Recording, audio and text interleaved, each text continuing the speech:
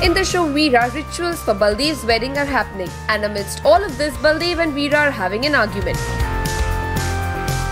That's why Baldev is telling Veera to go and tell her Veerji today that she wants to get married to Baldev and can't live without him. He's telling Veera that today she has to take a decision with whom she wants to stay. Now Veera is in a tiff between her brother and love of her life. She wants both of them to be in her life, that's why she's in deep trouble.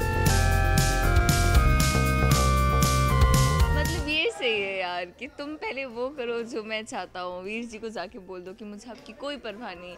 मैं तो अपने आशिक से बहुत प्यार करती हूँ और मैं उसी से शादी क्या बकवास। ऑब्वियसली यार तुम ऐसे लटका के कैसे रख सकती हो यार? मतलब पता है हिंदुस्तान में माना जाता है कि शादी दो मतलब एक लड़का लड़की के बीच नहीं होती दो परिवारों के बीच होती है। और तुम मेरा परिवार ही तो हाँ तो सबको बैठा दो ना मंडप में सबकी करा दो शादी। Package free discount heavy discount on marriage Pitampura में। मैं कोशिश कर रही हूँ और मैं इसे मना लूँगी। इसमें इतनी गट्स ही नहीं है कि किसी और से शादी करे। कोई और इसको झेल ही नहीं गट्स की बात मत कर। गट्स की बात मत कर। कर सकता तो हूँ मैं और कोई झेल ही नहीं सकता। तो एक्चुअली वो राइटर पे डिपेंड करता है मेरे गट्स पे नहीं। Guys, this is Gangna Suryavanshi here from Veera. Um, keep watching India Forums and subscribe What's Up TV. Love you all.